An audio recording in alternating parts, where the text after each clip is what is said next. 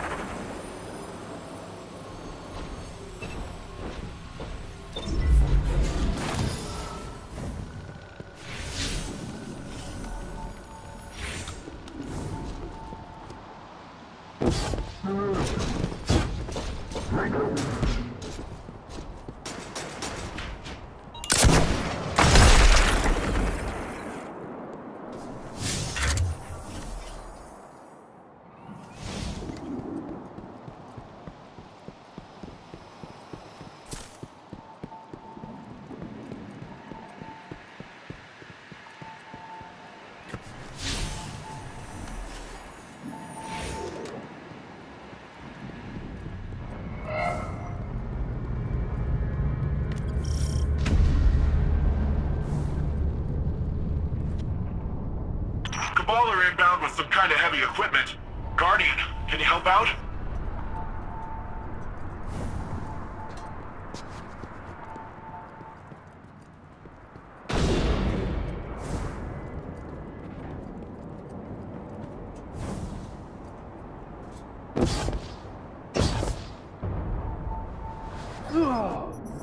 That drill is tapping into the city's utility lines, extracting nanite fluid.